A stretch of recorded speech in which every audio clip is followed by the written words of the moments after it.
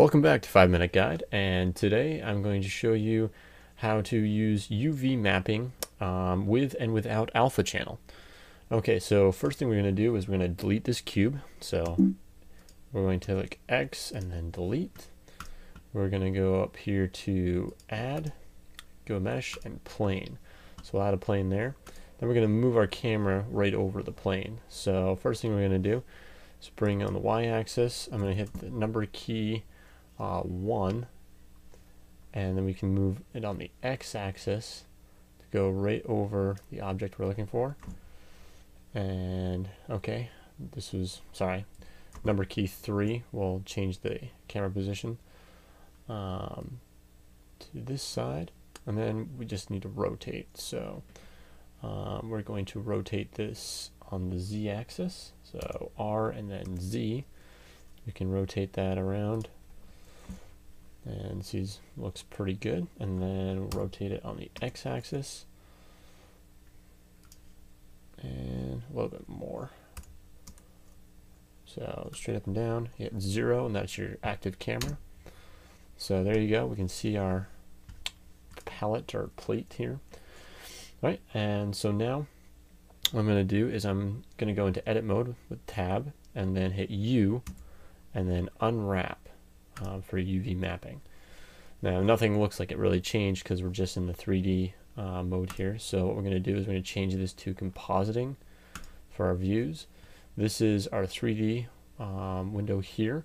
This right here is our render um, screen and right here is our UV map screen. So we're going to go is we're going to go down to image with with this still selected. We're going to go down to image, open image, and then just find um, find your image that you're looking for. So we'll open that up. This is a fairly large photo, so zoom out a little bit there so you can see the whole thing.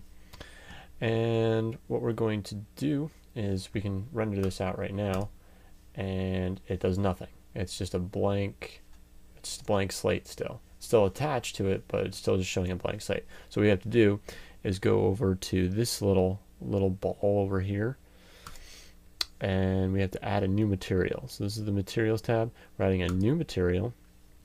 We're going to go scroll down and go face textures. So click on that and then we go and render the image and you can see that it is showing up. Um, these images are affected by light. You can change um, the different uh, settings, you know, you can have it emit light, you can have it translucent, you know, all sorts of stuff like that. Um, we're going to click on shadeless for this one um, and render that out just so you can see it a little bit better, a bit more defined. Um, okay, so now what we're going to do is you can see this picture, um, you know, fully, it's all there. However, um, this is actually a transparent um, photo. It has an alpha channel, as you can see. Uh, so what we're going to do is we're going to activate that.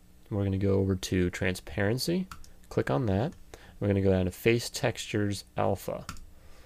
And we go to Render. And now you can see that the alpha channel is working properly. Um, now you can edit these objects while they have UV um, data attached to them.